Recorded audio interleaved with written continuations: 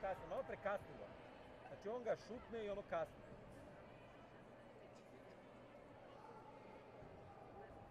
To mi se nije sviđalo, to mi je bio problem.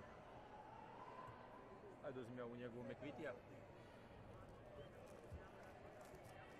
Znači, nije smjelo da stoji tako na dostupnom mjestu.